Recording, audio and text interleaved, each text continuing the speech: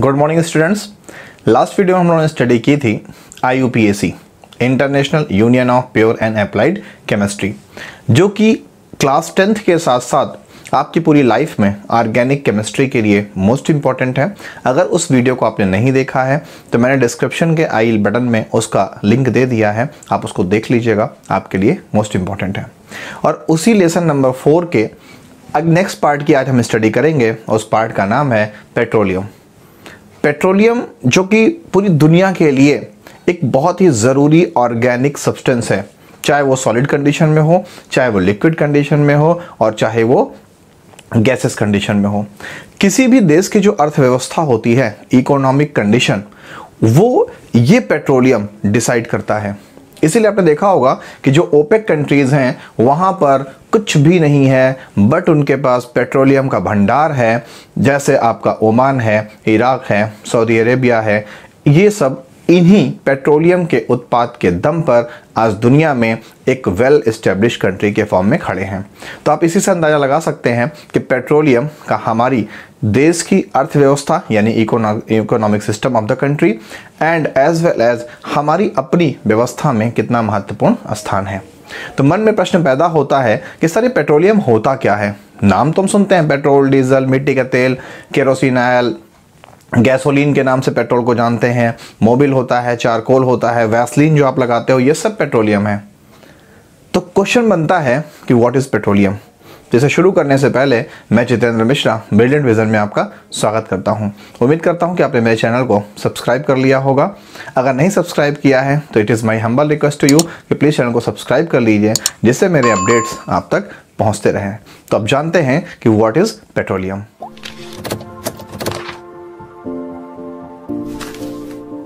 Petroleum एक ऐसा organic substance है हिंदी में कार्बनिक पदार्थ है, जो कि कार्बन, हाइड्रोजन और ऑक्सीजन से मिलकर बना होता है। यह हमारे अर्थ की डीप लेयर में, यानी बहुत गहरी परत में पाया जाता है और इसके ऊपर एक वोलेटाइल, यानी वाश में परिवर्तित होने वाली, गैस में चेंज होने वाले एक लेयर होती है, जिसको आप गैस कहते हो। और उस गैस के नीचे लिक्विड कंडीशन में और उसके नीचे सॉलिड कंडीशन में पेट्रोलियम सब्सटेंस हमें मिलते हैं। पेट्रोलियम जो होता है, ये डार्क कलर का होता है। आपने पेट्रोल, डीजल, मिट्टी का तेल, इन सबको आपने देखा है। तो ये डार्क कलर का होता है। इनमें विस्कोसिटी भी होती है और ये ऑयली भी होते हैं। बट ये नेचर में बहुत कम चिकने होते हैं मोबिल को और ग्रीस को छोड़ करके जो पेट्रोलियम जली आपकी है। बाकी ये नॉर्मली ऑयल जैसे होते हैं और बर्निंग के लिए बहुत ही सुटेबल होते हैं, बहुत ही तेज़ी से आग को पकड़ते हैं। तो अगर हम डेफिनेशन के फॉर्म में देखें तो it is a dark coloured यानी ये गाढ़े रंग के विस्कस विस्कस का मतलब विस्कोसिटी का मतलब होता है चिपचिपाहट एंड ऑयली लिक्विड और तेल जैसी चिकनाहट भी इनमें पाई जाती है, जैसे मैंने अभी आपको मोबिल का नाम बताया है। Found in deep layer of earth पृथ्वी की गहरी लेयर में पाए जाते हैं। It is called crude oil इसीलिए इनको हम क्रूड ऑयल यानी कच्चा तेल रॉक ऑयल यानी चट्टान का तेल, और इनको हम मिनरल ऑयल भी कहते हैं, क्योंकि मिनरल्स कहाँ से मिलते हैं? रॉक से, यानी चट्टानों से। और ये हमें कहाँ से मिलते हैं? मिनरल से। तो इसलिए इनको हम मिनरल ऑयल भी कहते हैं। जो पेट्रोलियम सब्सटेंस हैं, इनका जो सबसे पहला कुआँ था, वो पेंसिल्वेनिया यूएसए में 1859 में एडविन ड्रेक ने खोजा था। तब ये लगा था कि अमेरिका में, यानी यूएसए में, तेल का बहुत बड़ा खदान है, भंडार है, लेकिन उसके बाद पेंसिल्वेनिया के बाद वहाँ पर बहुत ज़्यादा तेल के कुएँ नहीं पाए गए। और ओपेक कंट्रीज़ जो आपकी हैं, जिनको आप यूएई या सऊदी कहते हैं, वहाँ पर तेल के खदान ज़्यादा पाए गए, तेल के कुएँ वहाँ पर ज़्यादा पाए गए स्पेशली कुवैत में। अब अगर हम बात करें कि जो दूसरा तेल का कुआँ पाया गया था, वो कहाँ पाया गया था? तो जो सेकेंड वेल था, कुआँ था, तेल का, वो पाया गया था इंडिया के असम में। असम में एक प्लेस है डिगबोई। तो डिगबोई में 1859 के आठ साल बाद दूसरा तेल का कुआँ पाया गया था और आज हमारे भारत में गोदावरी, कावेरी, इन सभी नदियों के जो डेल्टाज होते हैं, वहाँ पर, साथ में वेस्ट मुंबई, यानी पश्चिम मुंबई में, और आपके असम में, इन सभी जगहों पर भारत में भी तेल के कुएँ हैं, और इनसे हम पेट्रोलियम सब्सटेंस को प्राप्त करते हैं।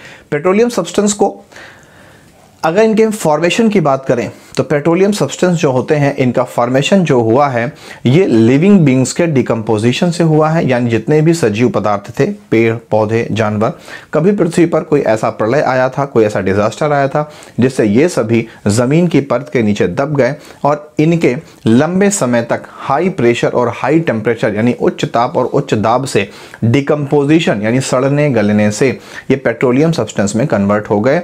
और जो कि सॉलिड लिक्विड और गैस तीनों कंडीशन में पाया जाता है। सॉलिड कंडीशन में कोयला पाया जाता है। लिक्विड कंडीशन में गैसोलीन यानी पेट्रोल डीजल केरोसिन पाया जाता है। गैस की कंडीशन में आपको एलपीजी और मेथेन गैस भी इसमें से मिलती है।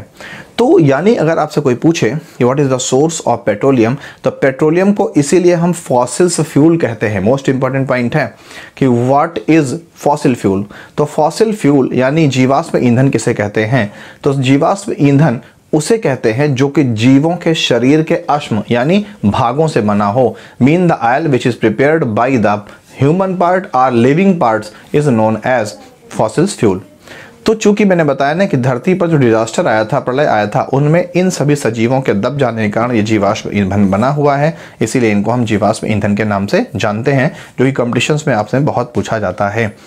अब चूँकि ये डिजास्टर में लिविंग बींग्स के धरती के नीचे दब जाने से बने थे। इससे एक चीज़ क्लियर है कि धरती के भीतर इनकी जो क्वांटिटी है, वो बहुत फिक्स है, बहुत सीमित मात्रा में पेट्रोलियम उत्पाद हैं और हम अंधाधुंध, बुरी तरह से पेट्रोल डीजल मिट्टी के तेल और कोयला का इस्तेमाल कर रहे हैं। अगर इसी स्पीड से हम इन नेचुरल रिसोर्सेज यानी प्राकृतिक संपदाओं का इस्तेमाल करते जाएँगे तो एक ऐसा वक्त आएगा कि धरती से ये पेट्रोलियम उत्पाद पूरी तरह से खत्म हो जाएँगे और तब हमें जो पारंपरिक ट्रेडिशनल सोर्स ऑफ़ एनर्जी है, इसकी जगह पर किसी वैकल्पिक व्यवस्था का इंतज़ाम करना पड़ेगा। इसलिए दुनिया आज उस दिशा में चल भी चुकी है कि हम electric source of energy solar panel और न्यूक्लियर एनर्जी पर निर्भर होने की तरफ़ अपने कदम को बढ़ा रहे हैं। बट मेरा आपसे निवेदन है कि इन पेट्रोलियम सब्सटेंस का कम से कम इस्तेमाल करिए, जिससे कि आप लंबे समय तक इसका प्रयोग कर सकें, ये आपका ज़िंदगी में आखिरी सांस तक साथ दे सकें। और साथ में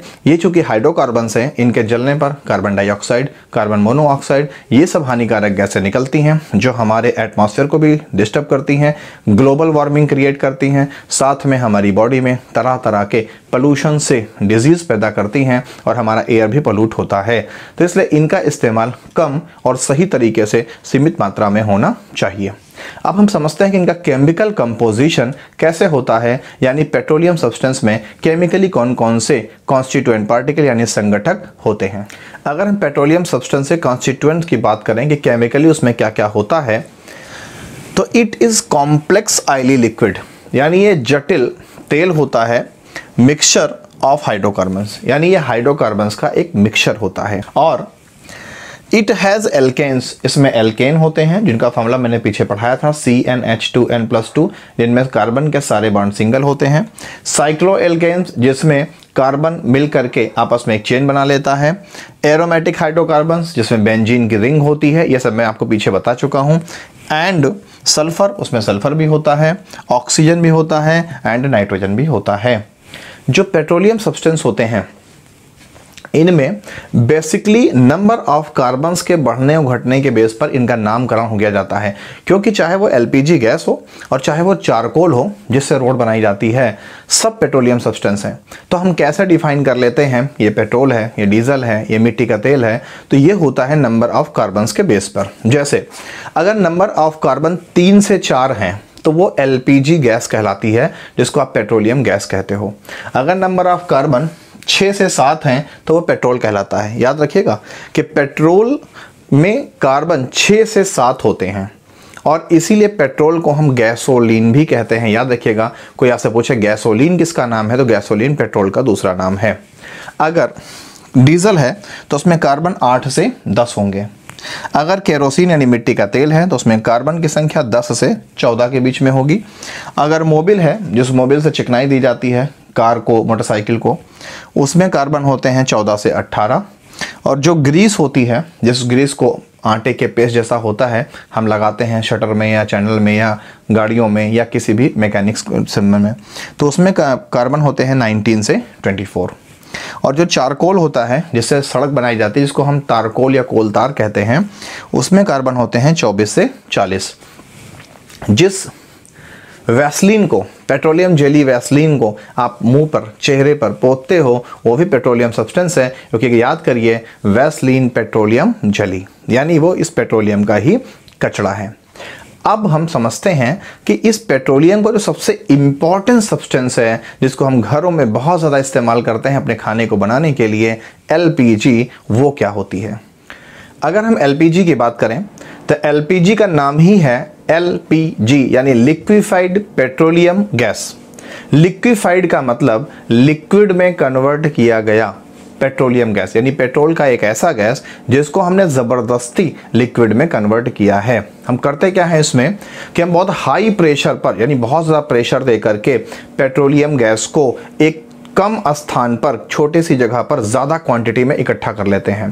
तो जब गैस के मालिक्यूल्स पास पास आ जाएँगे तो वो लिक्विड में कन्वर्ट हो जाएँगे। और चूँकि यहाँ पर प्रेशर बहुत ज़्यादा है, इसलिए हम इन्हें स्टील के मोटे मोटे सिलेंडर में भरकर रखते हैं। आपने देखा भी होगा कि गैस का सिलेंडर बहुत मज़बूत और बहुत मोटा होता है। ऐसा इसलिए होता है क्योंकि गैस को मैंने बहुत प्रेशर पर लिक्विड में कन्वर्ट किया है तो ये बर्तन की दीवार पर बहुत प्रेशर एग्जर्ट करेंगे। ऐसी कंडीशन में अगर वो सिलेंडर कमज़ोर होगा तो ब्लास्ट हो जाएगा और दग जाएगा, जिससे एक एक्सीडेंट हो सकता है। इसीलिए गैस के सिलेंडरों को बहुत मज़बूत और मोटा लिया जाता है। ये क्वेश्चन आपसे कभी कभी पूछा भी जाता है कि वाई शुड द गैस या cylinder will be very strong and very thick तो इसका मतलब यही है। अब अगर हम डेफिनेशन के अकॉर्डिंग देखें तो it is liquefied petroleum gas यानी ये लिक्विड में कन्वर्ट किया गया पेट्रोल का गैस है which is the combination of propane and butane ये प्रोपेन यानी तीन कार्बन और ब्यूटेन यानी चार कार्बन के हाइड्रोकार्बन का कॉम्बिनेशन होता है। कोई अगर आपसे पूछे कि एलपीजी में कौन सा गैस होता है तो एलपीजी में प्रोपेन और ब्यूटेन ये दो गैसेस होती हैं। प्रोपेन में कार्बन तीन होते हैं, जिसका फार्मूला है सी थ्री एच एट और ब्यूटेन में कार्बन चार होते हैं, जिसका फार्मूला होता है सी फोर एच टेन अब इस पेट्रो एलपीजी की कुछ खासियतें होती हैं। पहली खासियत है इसकी कि it is converted into liquid at high pressure यानी इसको हम लिक्विड में कन्वर्ट करते हैं, बहुत ही हाई प्रेशर दे करके, जिस पर हमने अभी डिस्कशन किया था। नेक्स्ट पॉइंट है it's calorie value is very high यानी इसकी जो कैलोरी वैल्यू है, वो बहुत हाई होती है। तो अगर आपको ना पता हो कैलोरी वैल्यू क्या होती है तो इसका मतलब समझ लीजिएगा कि किसी भी गैस के एक मिलीग्राम या एक ग्राम को बर्न करने पर कितनी एनर्जी कितनी हीट प्रोड्यूस होती है, इसी को उस फ्यूल की कैलोरी वैल्यू कहते हैं। और किसी भी फ्यूल की कैलोरी वैल्यू जितनी ज़्यादा होगी, वो उतना अच्छा फ्यूल माना जाता है। तो एलपीजी की कैलोरी वैल्यू बहुत ज़्यादा होती है, यानी ये एक बहुत अच्छा फ्यूल माना जाता है, और इसीलिए हम अपने घरों में इस फ्यूल का इस्तेमाल करते हैं। साथ ही ये जलने के बाद धुआँ नहीं देता, जिससे कि पॉल्यूशन नहीं क्रिएट होता, और हमारा जो एयर है, वो शुद्ध बना रहता है। नेक्स्ट पॉइंट है कि it is an ideal fuel जो प्रॉपर्टीज़ मैंने अभी आपको गिनाई हैं, इन सभी प्रॉपर्टीज़ के बिहाफ पर, ये क्या है? ये एक आइडियल फ्यूल है। क्योंकि हम किसी भी आइडियल फ्यूल से क्या उम्मीद रखते हैं?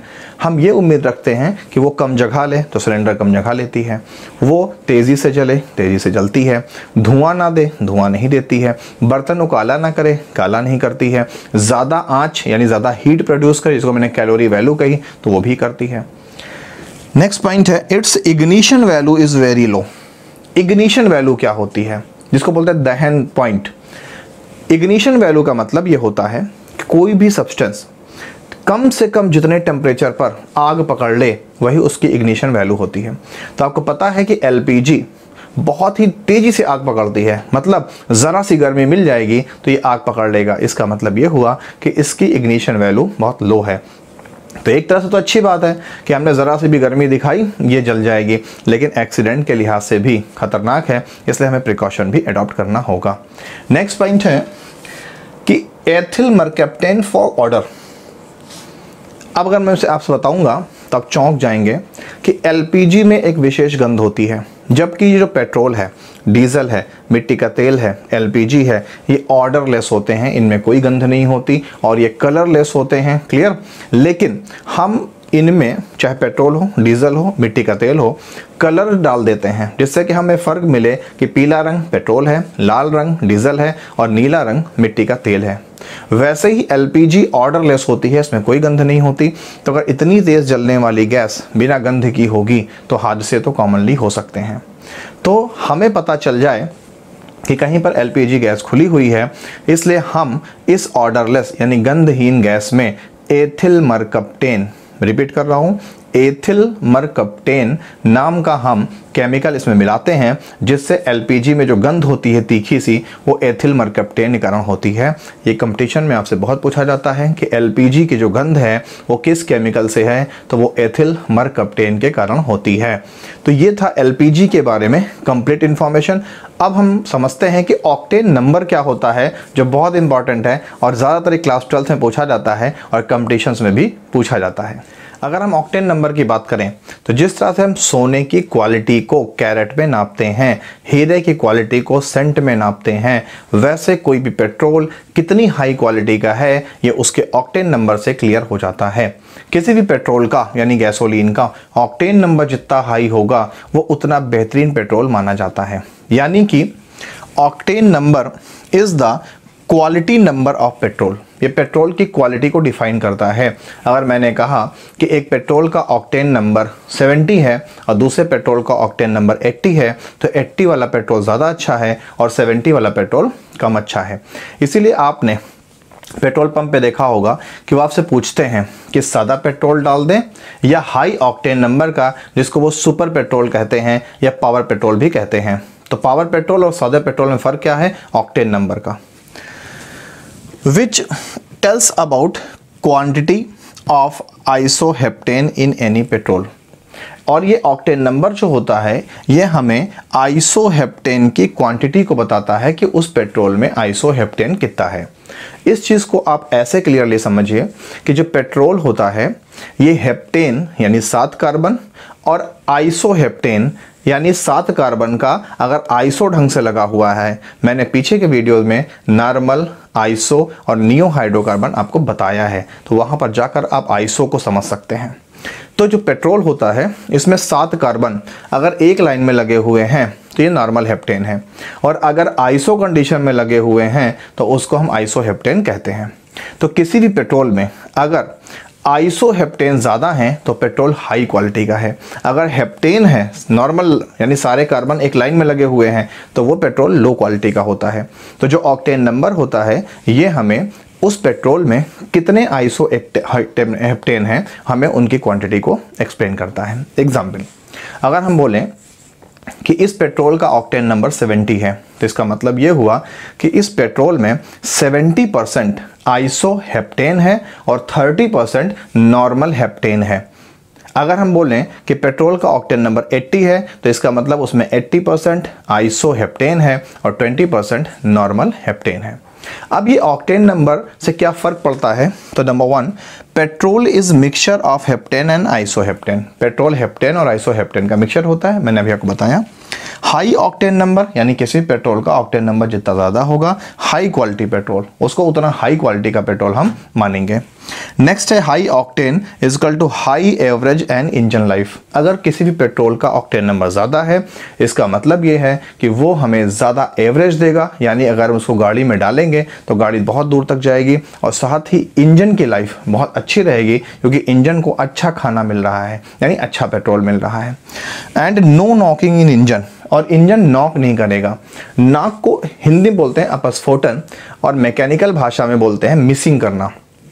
कई बार आपने देखा होगा कि गाड़ी से फट की आवाज़ आती है तो फट की आवाज़ को ही नॉकिंग, यानी हिंदी में अपस्फोटन कहते हैं। ऐसा इसलिए होता है कि जब पेट्रोल में नॉर्मल हेप्टेन ज़्यादा क्वांटिटी में होता है, यानी पेट्रोल लो ऑक्टेन नंबर का होता है तो वो बहुत तेज़ी से जल जाता है, जिससे बहुत अचानक हीट प्रोड्यूस होती है और इंजन में एक तड़ाक सी आवाज़ आती है। इससे इंजन की लाइफ भी घटती है। तो जितनी ज़्यादा ऑक्टेन नंबर होगा नॉकिंग की प्रॉब्लम इंजन में नहीं होगी। तो ये था पेट्रोल के ऑक्टेन नंबर के बारे में आपके लिए इंफॉर्मेशन अब हम समझते हैं हाइड्रोजनेशन ऑफ़ ऑयल्स इसको समझने से पहले हमें यह समझना होगा कि ऑयल में और फैट्स में डिफरेंस क्या होता है?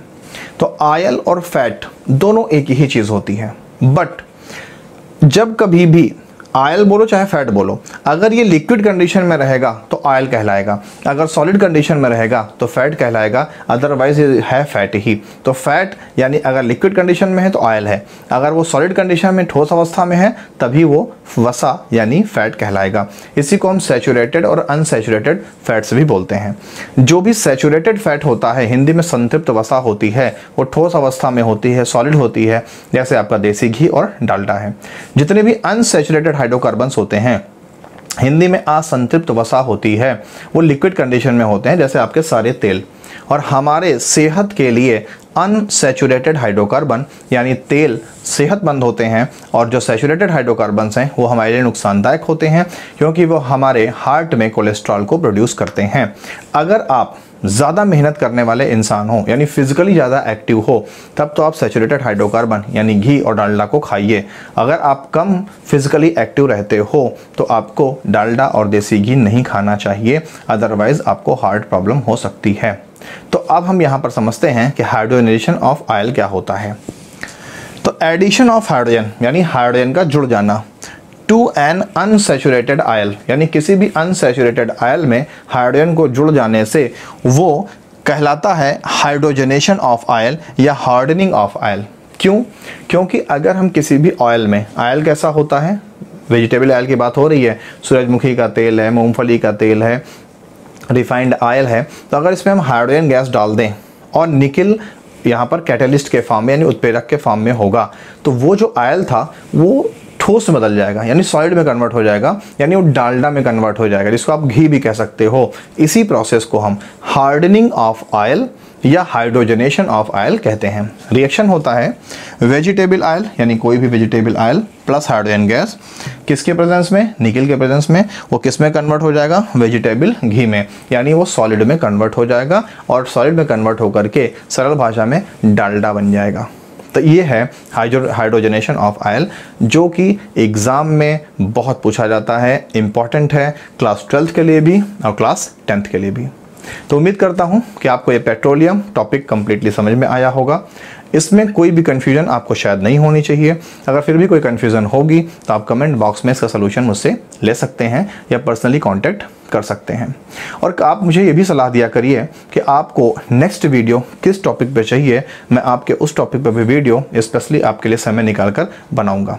मिलते हैं नेक्स्ट वीडियो में, इसी लेसन के नेक्स्ट कंटेंट के साथ, जो कि है अदर ऑर्गेनिक कंपाउंड्स जिसमें हम एथेनॉल ब्यूटेनॉल ओइक एसिड्स इन सभी की स्टडी करेंगे।